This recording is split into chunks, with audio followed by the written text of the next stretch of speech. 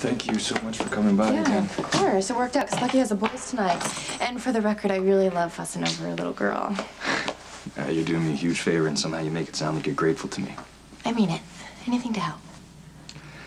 Uh, so Robin is in. Uh, she's in Rochester. You spoke to her? No, Mac tracked her down. She's in some hotel or something. Well, you're gonna go get her, right? Well, yeah, that's where Mac and I have a difference of opinion. He seems to think that he should be the one to bring her home, and obviously I do. I mean, I'm her husband. Right. Yes. You're. So why aren't you out the door?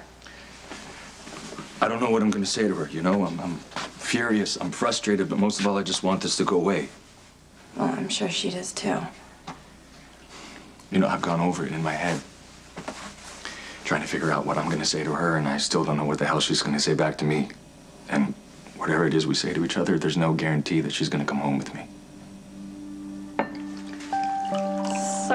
These uh, wine glasses. Ah, you don't have to apologize. I'm just happy to be here with you. So, how's that messed up finger of yours doing? I almost forgot about it. It's a, it's a curse of a carpenter. You bang up your hands so much and you forget about the pain. Well, that either sounds tragic or noble. I'm not sure which. Well, it was worth the injury to get to meet you, Nancy. Yeah, I wasn't sure what this trip would bring for me, but uh, been a really nice surprise. To surprises and getting to know you better. To getting to know you better. Hey, why are you not in Rochester? Uh, how's Emma? She's fed, changed, sleeping, and adorable. I don't know how I'm going to thank you for everything you've done here. Well, you can start by getting Robin. Yeah, I'm just trying to get more information on how to get my wife back, you know, with websites and pamphlets on postpartum depression. I, I still don't know how to get through to Robin. You're not gonna do it sitting behind a computer. You know, she still is just Robin, who you love. What if you guys, what if you got into some ordinary fight? How would you fix it? This isn't ordinary, Elizabeth. You know, she got in a car. She made a decision to leave me and, and Emma and her home and her job, everything. I'm pretty sure walking in with a list full of grievances isn't the way to reach her. So do I just ignore the fact that my whole world is upside down? Let alone Emma's? Let Robin just convince me that I'm the one that's mistaken again? You need to drag yourself out of this house and face Robin, or nothing is going to get better. My grandfather taught me how to build everything, turning nothing into something. I'm not so sure I'd brag about that. Yeah. Your hands are soft. Your hands are strong. I like a man that works with his hands. My um, my dad, when I was younger, he built us this great big tree house in the backyard. Was my special fort. I could go there and pretend to be anybody that I wanted. So who do you want to be right now? Nancy Green from San Francisco. Done. so this this tree house was it an all girls tree house or were boys allowed too? Well, that depended on the boy. Of course, I was the boss, so I get to decide who comes in. Oh, uh, a control freak. Yeah, it worked for me up until, uh. Anyway, I guess I've always liked uh, order, you know, knowing what to expect and when to expect it. I guess it comes from having an unpredictable childhood. hmm I like a woman that's not afraid to question herself. Yeah. Lots of questions, not that many answers.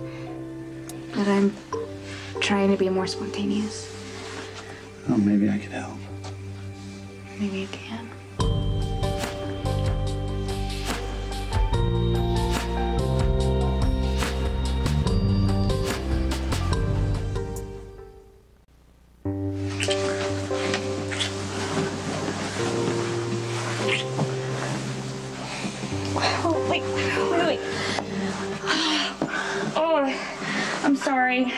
So sorry. It's okay. It's okay. I, I guess it was an all girls tree house. haven't. I haven't been fair to anybody, including you. It's okay, Nancy. I, I like you. I do. You don't even know me. That's not your fault. I, Look, I, I, I didn't mean to get you upset. Okay, if, if this date ended right now, I would be really, really happy.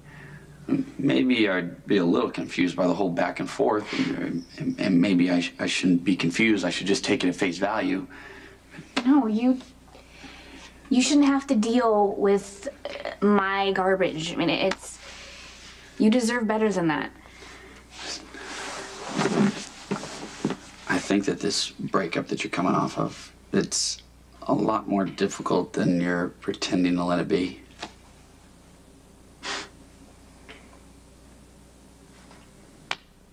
I thought I'd found the one. Well, I did find the one. I had the career of my dreams, a family that loves me. Hell, I even decorated my house exactly how I thought it should look. but then one day I woke up and I thought, this is my life. It's like every decision that I've ever made, all of the choices, they just turned out to be the wrong one. And I can't help but feel like I'm drowning. Patrick, I can so relate to what you're going through. Watching someone you love deal with something that you just don't understand, and then you become the enabler and you both end up getting hurt. I know, I've been there. So you think it's comparable to what you went through with Lucky's addiction? Obviously, it's not the same thing, but yes, there are similarities. And I convinced myself that what I was doing was in Lucky's best interest. I was supporting him, I was understanding him, I was on the side of the angels. It's a hell of a burden, isn't it? But I knew that he was messing up and he was lying to me and cheating on me. And the more, the angrier I got, the more hurt I became, and the more I started to resent him. And next thing you know, the breach was so deep I couldn't get past it. And I would really, really hate to see that happen to you and Robin. That's the thing, Elizabeth. I don't want to criticize Robin for something that she can't help. Well, then don't attack her. Just be honest with her. And it's not going to do you any good to beat yourself up. Remember what it is that you really want. I want Robin back here home. I wanted to get help. I wanted to get well. I want us to be a family again. Then go get your wife.